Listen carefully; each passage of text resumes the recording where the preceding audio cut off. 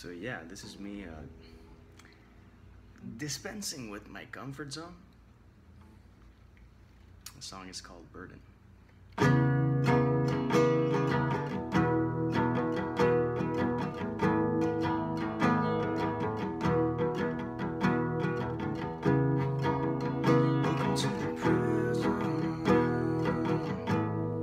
Is this what you